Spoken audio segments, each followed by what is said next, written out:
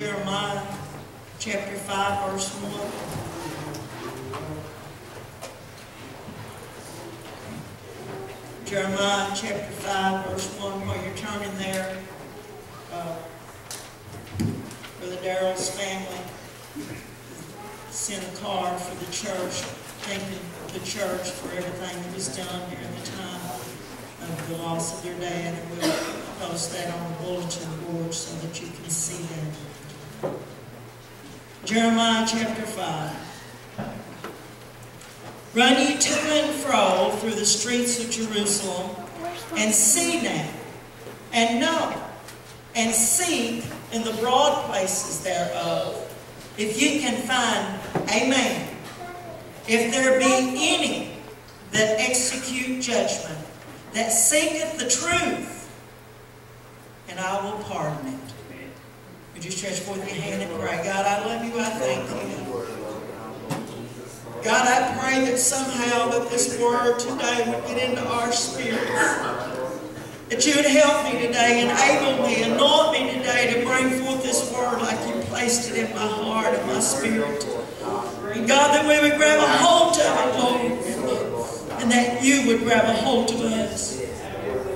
That we would be the people that you intend us to be. That you would move in our midst today. That you would get glory out of our lives, Lord. God, we praise you in the mighty name of Jesus. Amen. Be seated. When I read this, and he said to run through the streets of Jerusalem, but our Jerusalem, our place that we have to minister is right here where we live. Amen. Right in our own backyard. Oh. He said for us to see, to know, and to seek in the broad places. That's not just in the church house, that's out yonder. Oh. He said, Is there anybody that executes judgment? Is there anybody that would seek the truth? He said, If they would, that God Himself would pardon. God is wanting to pardon some people. God is wanting to set some people free from prison. Amen. He wants them to be pardoned and set free. Amen. So what he says here is, is there anybody that really cares?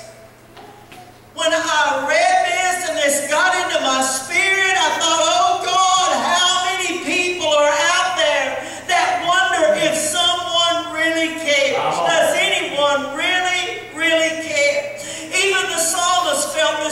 in Psalms 142 and 4. He said, I looked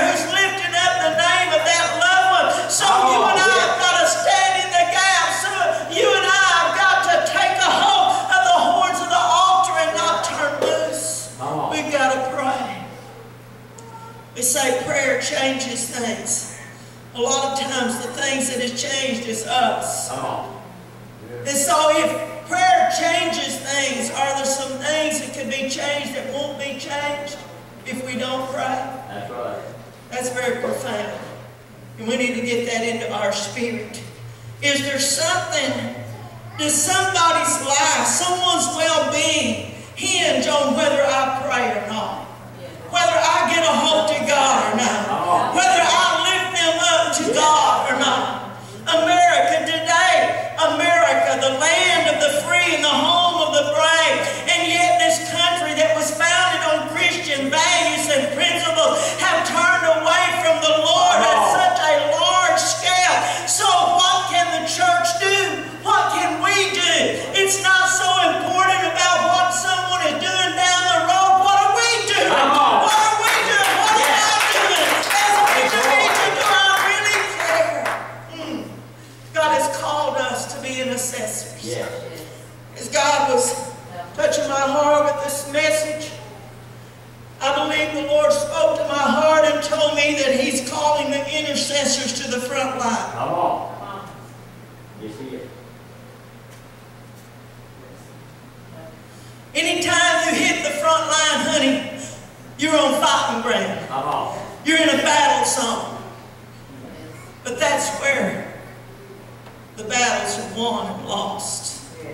He's putting us on the front lines.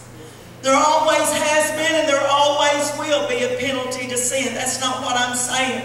In fact, Romans 6 and 23 says, For the wages of sin is death, but the gift of God is eternal life through Jesus Christ our Lord. Yes, there is a penalty for sin, and wages is something that you work for. Wages is something that you deserve, but a gift is something that's given to you.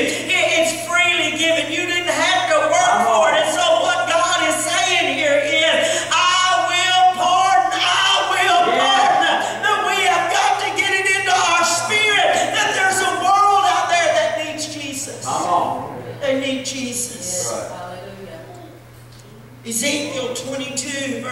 30 and 31, the King James Version says, I sought for a man among them that should make up the hedge, stand in the gap before me for the land, that I should not destroy but I found none. Come on. The Living Bible says it like this I looked in vain for anyone who would build again the walls of righteousness. Come on. That would build again the walls of righteousness that guard the land. Who could stand in the gap and defend you for my just attacks. But I found not one. And so the Lord God says, I will pour out my anger upon you. I will consume you with the fire of my wrath. I, I have heaped upon you the full penalty for your sins. The International Version says so. I would not have to destroy it, but I found none.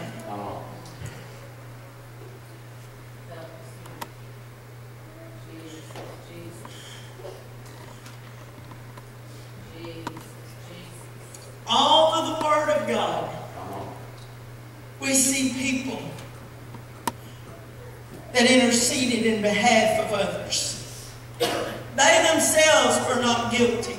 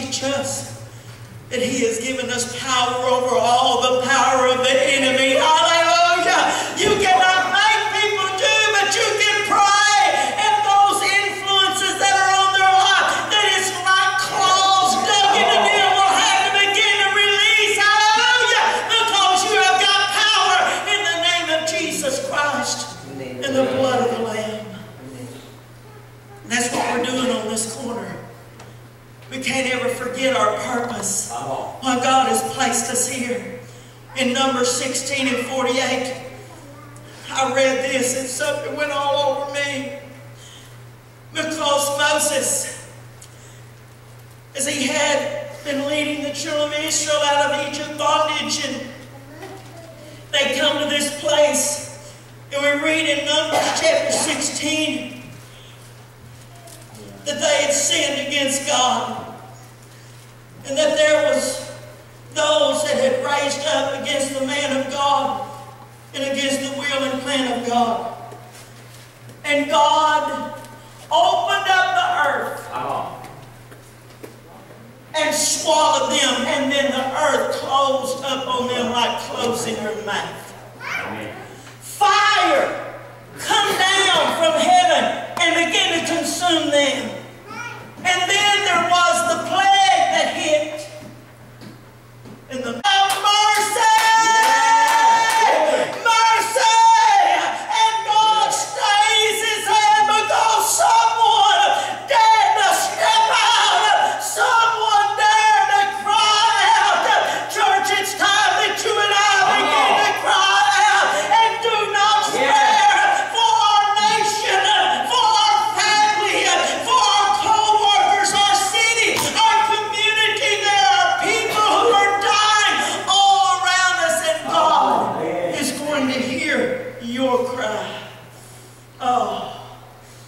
stand between the dead and the living so that God's hand, His just hand, might I add, is stayed and the plague reversed. No wonder the enemy tries so hard to hinder us from going to our prayer closet because he knows it means the difference between life and death. Amen. But pastor, things are so bad. People are, are turned so far away from God. How can it make any difference? All I have to do is begin to thumb through the pages of Oh. God, and I find other times in history when it seemed like there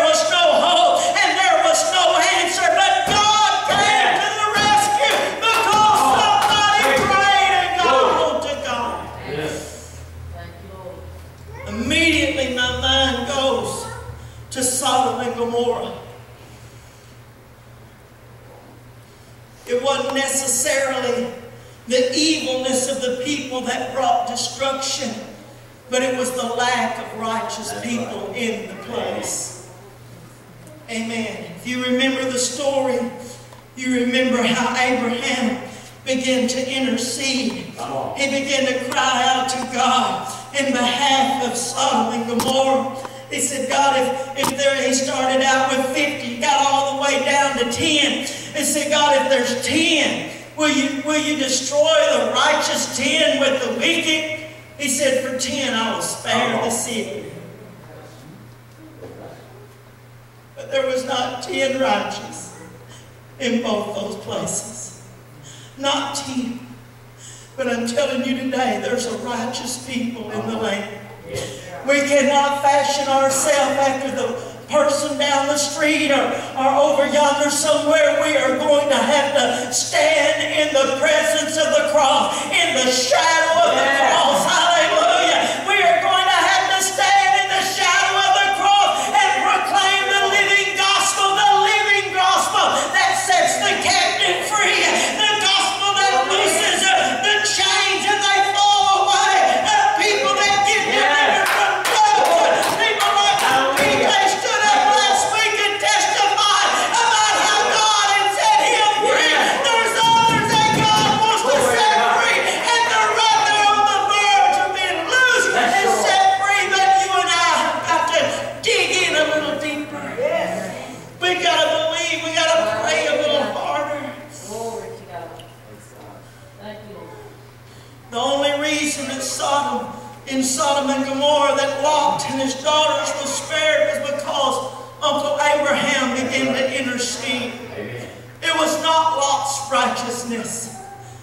It was the personal relationship that Abraham had with God.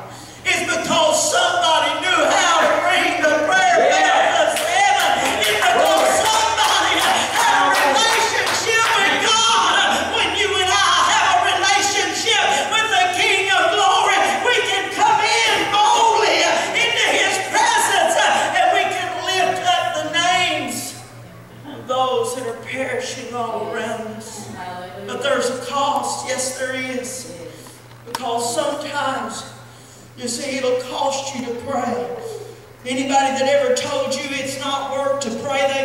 they've never prayed. Amen. Come on. That's right. Anyone that'll tell you it's not a sacrifice to pray, they don't know what they're talking about. Uh-huh. Preach it. Sometimes we got to do more than just speak some words. Come on. Sometimes words don't even come. Sometimes if we were dependent on people to understand us in order for our prayers to be answered, it would be impossible because sometimes all we can do is cry. Sometimes all we can do is moan. Come on. Sometimes all we can do is say, Jesus, Jesus, Jesus, Oh, Jesus. But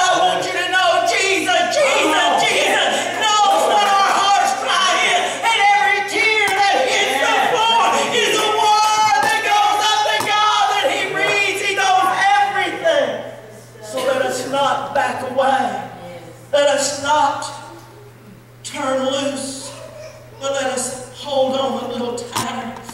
Let us make a commitment to seek the face of God. And not just to come in and, and, and bring our, our list and, and read it off. One, two, three, A, B, C. But let's come in Come and let's take some time just to love Him Amen. just to worship Him, just to praise Him. Y'all have heard the story. I've told it plenty times, but I'm going to tell it again. The little kids that there was an ice cream parlor there by their grandma and grandpa's house, and every time they went, he took them to get ice cream. And their mama told them, said, when you go to grandpa's today, don't you dare ask him for ice cream. When they run in the door, they run in, they grabbed him, they, they kissed his jaw, they hugged his neck, they told him he was the best grandpa in the world and just went on and on and on. Finally, he went into the kitchen, he asked his daughter, said, how long you and the kids going to be here? She told him and he said, that's just long enough for me to go get those kids some ice cream. Amen.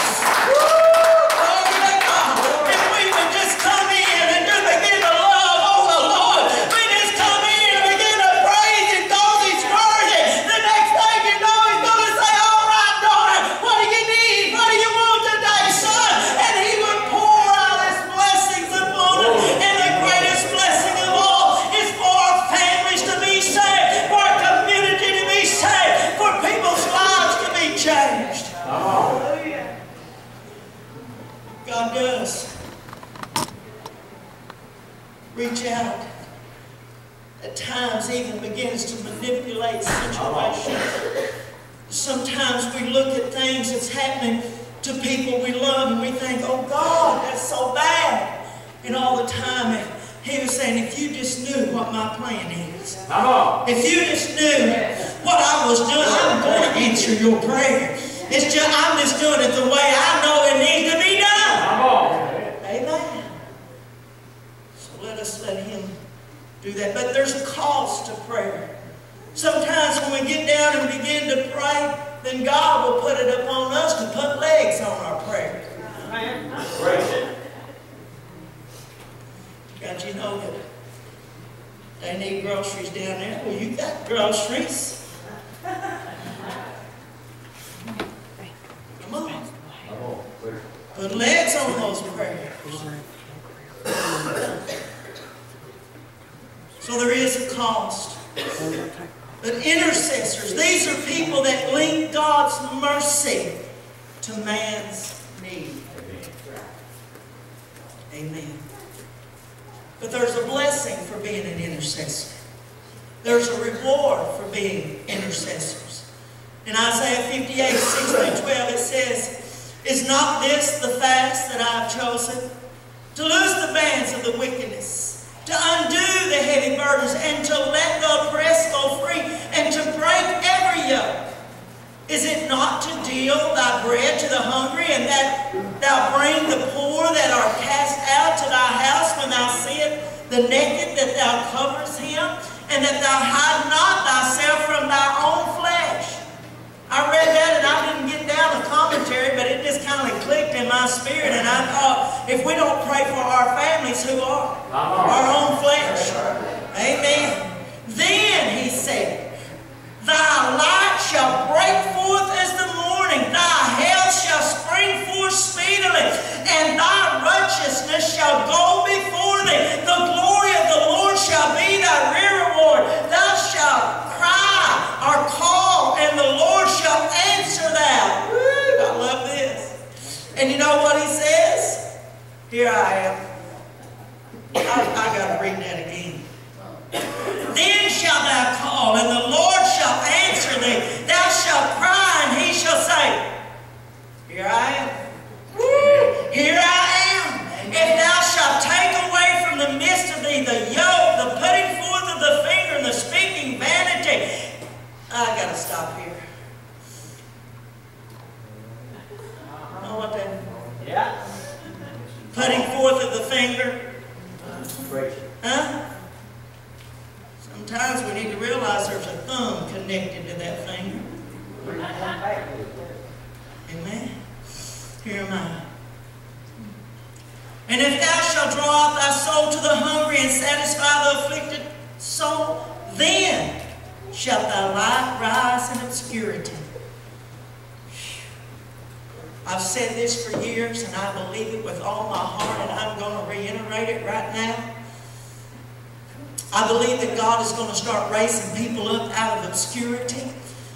He's going to start setting people in positions where their daddy and granddaddy wasn't preachers in the past, was not connected in some high up official place, that God is going to say, because this person has been faithful to me, because this person has walked in my ways, I'm going to raise them up. They may be in a dark place, but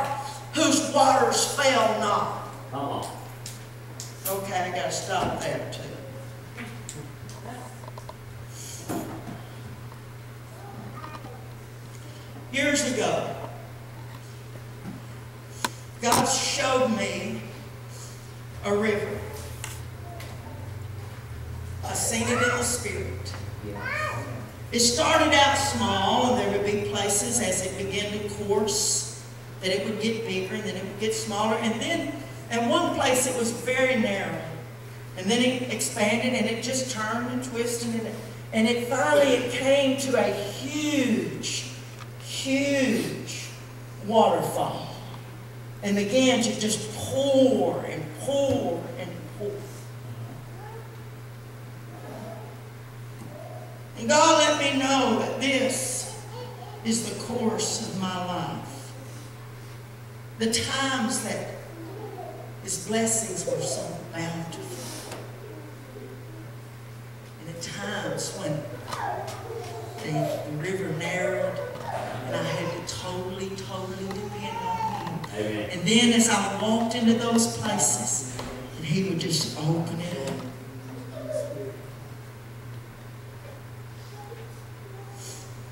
We had started evangelizing full time, and we were off in a revival, and Brother Doyle and I both got sick. It was so bad that we had to cancel revival and go home. We were both in the band. Our neighbor has done gone on to be with the Lord now, big and what. He would get wood, put it on our door, our porch by our door, so that Doyle didn't have to go out and get wood. And we'd have it close so we could keep the fire going. I began to get better, and Doyle was still sick. and my daddy got real bad. And my mama called me one day and she said, Your daddy wanted me to call you to have you to pray for him. He's hurting real bad. I said, well, I'm going to get off the phone. I'm going to pray. and then I'll call you right back. I got on my knees, I began to cry out to God, and I got a peace. I felt assured that He was better. So I called her back, and she said, Yeah, he's not hurting, he's better. See, I was going to go over there, but it was cold, and it was rainy, and it was windy, and it was bad. And Doyle was sick, and I wasn't feeling good. So I decided to wait till the next day. And I heard in the background my daddy say, Tell my little Lenny that I love her. The next morning we got a call. They was taking to the hospital in the ambulance. Brother Jerry, you were in that ambulance. I knew I didn't have to go to the hospital. So I come on over to the apartment. And at that point, my daddy had gone to heaven. And uh, we were going to make up money to help put him away. I didn't have nothing to give. I didn't have nothing to give. And I bawled so much until my eyes were swollen together. My daddy, my husband, that night, pulled me up close to him and he said, That's all right. He said, Because you were preaching when your daddy got saved. I don't know why I'm telling you. But our finances had got down to zero and past zero. If our bills would have come due right then, it would have been minus. But it was at that point when that river got so narrow.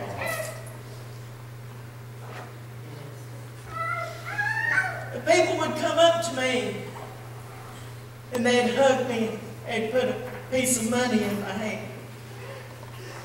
Someone else would pull me up, hug me, put a piece of money in my hand. They didn't know what they were doing. They didn't know what they were doing. But they were fulfilling God's word to me. Hallelujah. And so we was back out on the road again, traveling, preaching, and all of those things. And God spoke to me and He said, There will always be, from that point, that that point, that's why so much of it is so significant. He spoke to me and he said, From this point where that river was so small, he said, There is always going to be an excess. On. Always from this point on, you will never be broke again, is what he was saying. He didn't say it that way. But he said there will never be a lack.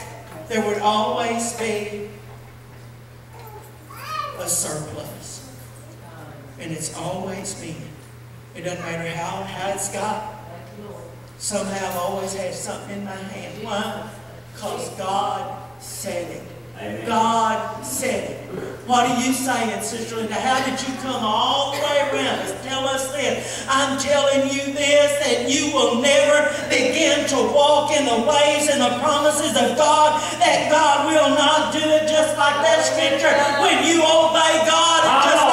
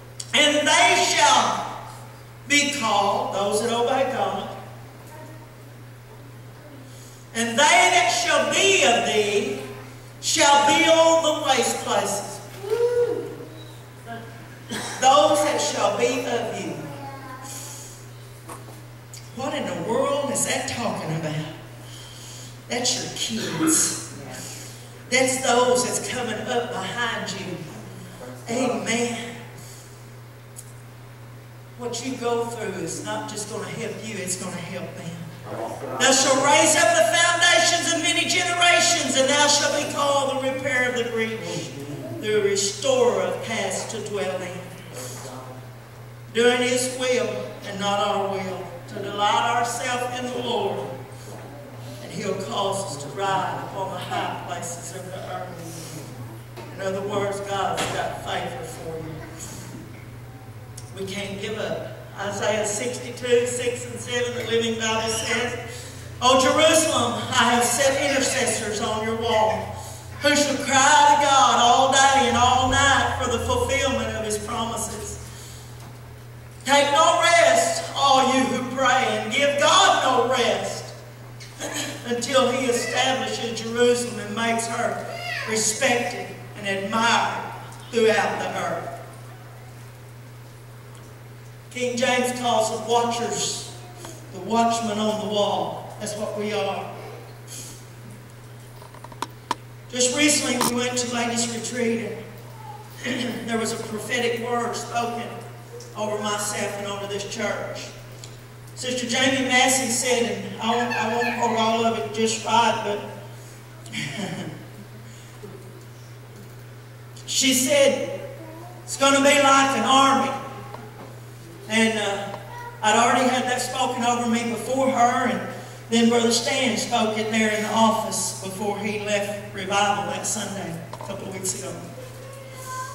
And uh, she started laughing. She said, the only way that I can describe this, she said, and I don't mean nothing bad about it, she said, but when David was in exile in the army that came to him, she said they wasn't a trained army, they were just people that, you know, stepped up. Oh. She said, ragtag army.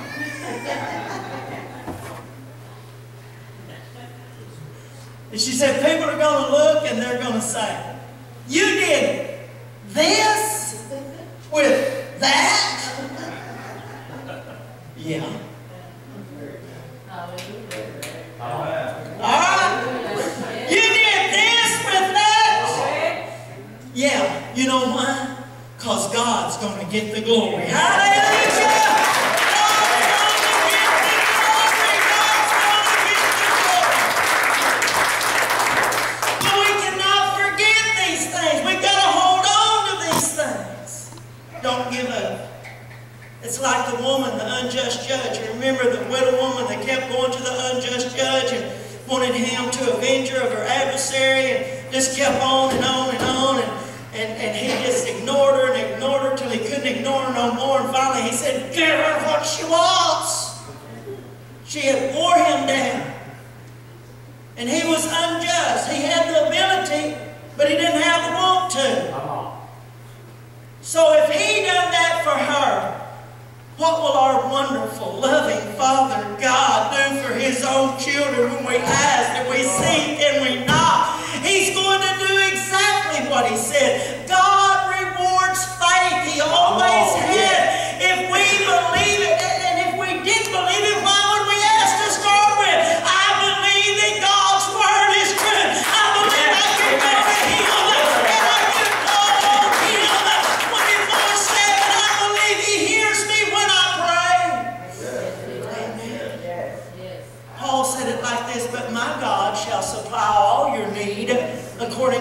Riches and glory by Christ Jesus.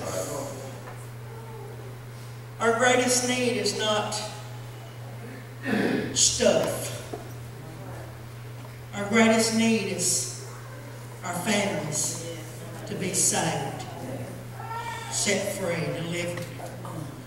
Some years ago, we were at a camp meeting service and the night speaker told us to put our hands, cup our hands in front of us. So everybody held their hand out and cupped their hand in front of them. He said, now I want you to see your family in your hands. And he said, every day, bring your family into the throne room of God. Begin to call upon the Lord in their behalf. Listen, church. They don't have access, but we do. Amen. If they're lost, but you and I have access into the Father. So let us do that. Let us claim. Don't give up on our loved ones, but let us claim Acts 16 31. Believe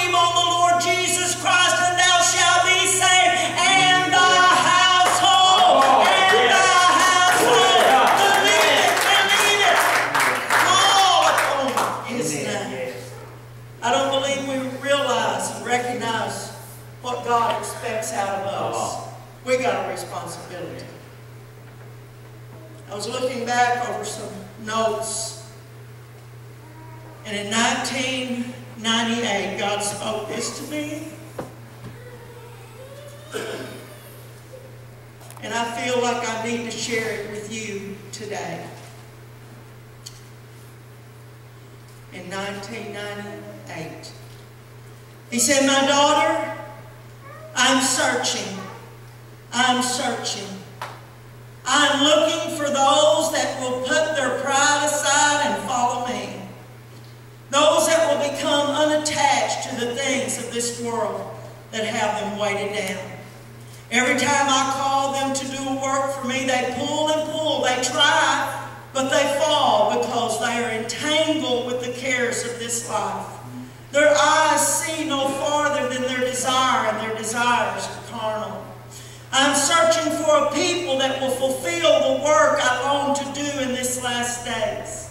And I am finding them. Did you hear that? Amen. And I am finding them, many in places that would not expect to find a treasure, but I know where to look. I will not receive lip service. I must and I will have people that will follow me with their whole heart. The hour is late and the time is at hand. Call my people to a solemn assembly. Let them cry unto me with all their hearts, and I will be entreated of them. I will hear and I will answer, and I will bring healing to their land, which is their homes and their lives. I will bring joy out of the ashes of sorrow and pain. I will accomplish what I set out to do. None shall stay my power and what I purpose to do. But I'm searching for these that will make up the hedge and stand in the gap. And then he asked me a personal question. He said, Will you be one of those that I will raise up? Will you sound the alarm? Will you sound the trumpet of the gospel loud and long? Will you call my people to repentance? Will you serve me with all your heart? I asked you a question. What will be your reply? And what will be the reply of my people? Would you stand across the building? Ezekiel 22, 30 and 31, and I sought for a man among them that should make up the hedge and stand in the gap before me for the land. That's your family, my family, so that it would not be destroyed, but I found none. That cannot be said about us, church. I read in the scripture, I believe it was Psalms 89. The scripture said, I have found David. And I thought, God, if you're looking for someone, you found David, find me. Here I am, Lord. Bring me to that place of your purpose. Bring me to that place of your purpose. Could we have some music, please? God has got a plan for your life. God's got a purpose for your life. So you've got to step into it. He's not going to drag you into it. He's not going to force you into it. He's not going to pop that whip and make you do it. But if you will hear that voice, that still small voice, and you'll say, Here am I, send me. He may be just wanting to send you across the street. He may just be wanting to send you to your knees. He may just be wanting to send you to your prayer closet. Here am I. Send me. We need a revival of the will of God in our life. And we come to the place to where we say, Not my will, but thine be done. And we're ready and willing. Those things that He put in our spirit that we push back on the back burner, we need to pull them up and turn up the flame. People are dying. People are lost. And God's depending on you. Every head bowed, the church praying.